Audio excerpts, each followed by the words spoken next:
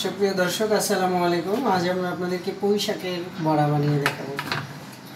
প্রথমে উপকরণগুলো দেখে নিই। আমি এখানে চারটা পুঁই পাতা নিয়েছি। এখানে এক চামচ, এই চামচে এক চামচ পরিমাণ আমি চালের গুঁড়া নিয়েছি। দেখুন এখানে চালের গুঁড়া। আর এখানে শিখি চামচ পরিমাণ আটা নিয়েছি। এটার সাথে আমি অ্যাড করব হলুদ আর লবণ। চালের গুঁড়োর সাথে আমি সামান্য পরিমাণ হলুদ দিয়েছি। এবার সামান্য পরিমাণ লবণ দিয়ে নেব।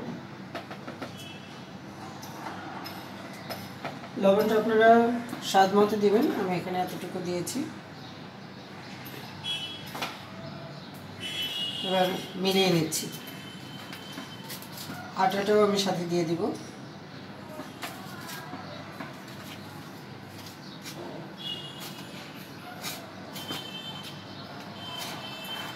এরপরে আমি জল দিয়ে ভালোভাবে মিলিয়ে নেব।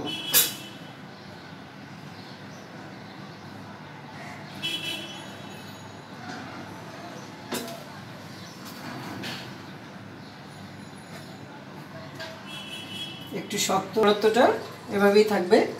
এর চেয়ে বেশি পাতলা করলে আবার আপনি পোশাকের সাথে এটা ছেড়ে যাবে, লেগে থাকবে না। আমি এটা এতটুকু ঘনত্ব। এবারে দেখুন কীভাবে প্রস্তুত করা যায়। অনেক সময় বাচ্চারা শাক খেতে চায় না। এভাবে যদি আপনি বড়া তৈরি করে দেন, তাহলে আপনার বাচ্চা খুব আনন্দ সহকারে খাবে।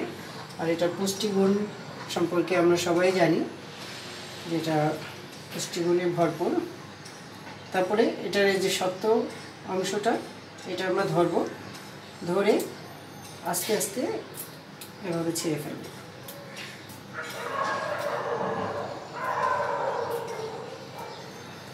এটা সহও করা যায়, কিন্তু এটা একটু শক্ত বলে সিদ্ধ হতে সময় লাগবে।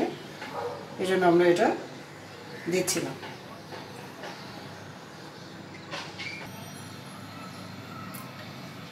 এবারে আমি এভাবে একটু ভাজ করে নিব। তারপরে এটার সাথে মিলিয়ে নিব। ভালোভাবে মিলিয়ে নিব তাহলে বড়াটা মচমচে হবে।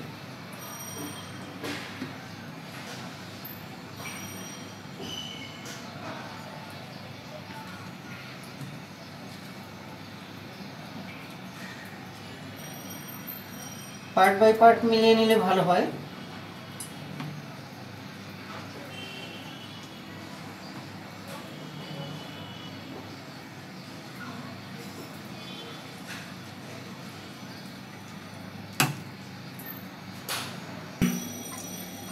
এ পর্যায়ে আমি চুলায় কড়াই বসিয়ে নিয়েছি, তেল ঢেলে দিয়েছি, তেল গরম হয়েছে। এবারে আমি পুঁই দিয়ে দিচ্ছি।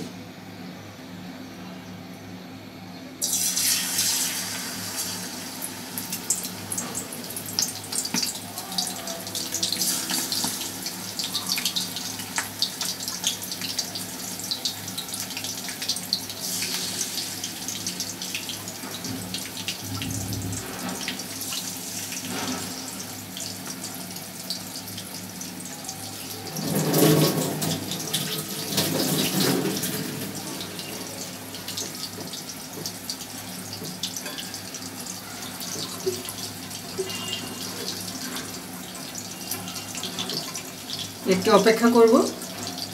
কারণ সাথে সাথে উঠবে না। এখন কড়াইয়ের সাথে লেগে আছে। এটা হয়ে গেলে তখন এটা উঠে যাবে। খুব সহজেই। আমি দুই মিনিট পরে এটা দেখে নিচ্ছি। উল্টে দিচ্ছি।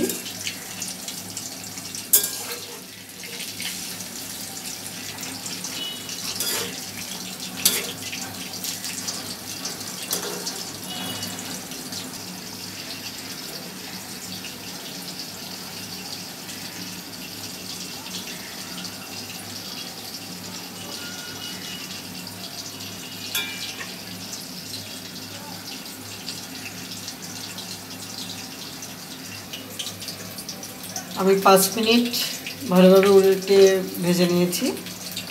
দুই পাশে ভালোভাবে হয়েছে। এ পর্যায়ে আমার বড়াটা বানানো শেষ। এবার আমি তুলে নেব। দেখুন, বড়াগুলো ফুলে উঠেছে এবং খুব মচমচে হয়েছে। কালারটাও সুন্দর হয়েছে। আপনাদের বাচ্চারা খুব পছন্দ করবে এবং আপনারা নিজেদেরও ভালো লাগবে। বাসায় বানাবেন।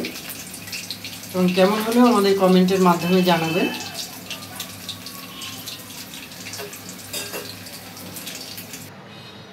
দেখুন, বড়াগুলো লাল হয়েছে পরে আমি নামিয়ে ফেলেছি। খুব সুন্দর হয়েছে এবং মচমচে হয়েছে। আপনারা বাসায় ট্রাই করবেন এবং কেমন হলেও আমাদেরকে কমেন্টের মাধ্যমে জানাবেন। আশা করি আমাদের ভিডিওটি আপনাদের ভালো লেগেছে। আপনারা যদি ভালো লেগে থাকে তাহলে অবশ্যই লাইক করবেন এবং শেয়ার করে বন্ধুদেরকে জানার সুযোগ করে দেবেন।